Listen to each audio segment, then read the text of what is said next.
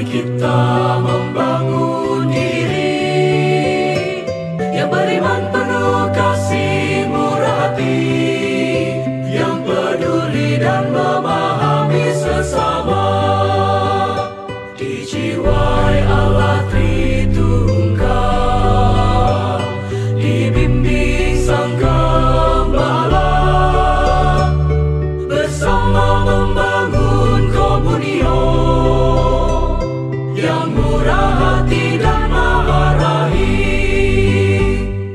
Yang kedua, marilah kita saling menolong satu sama lain, khususnya mereka yang terdampak secara ekonomis yang paling menderita karena hal tersebut. Semoga Tuhan memberkati kita semua. Satu